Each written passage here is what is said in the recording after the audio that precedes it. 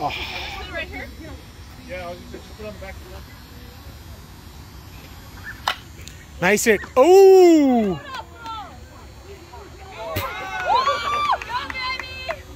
Ha ha.